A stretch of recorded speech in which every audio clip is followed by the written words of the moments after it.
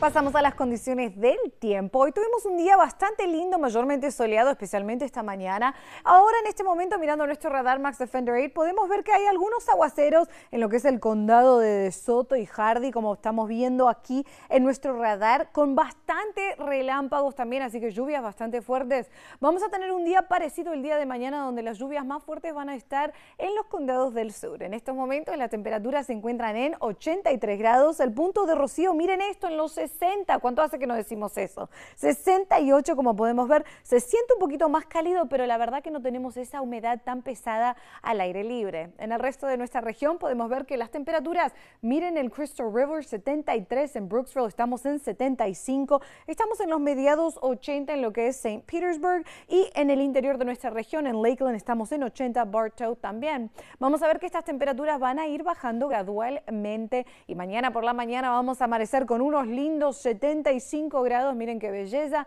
Y todo esto viene a causa de un sistema de baja presión que nos va a traer un poco de aire más seco, especialmente entrando en este fin de semana que es cuando comienza el otoño oficialmente.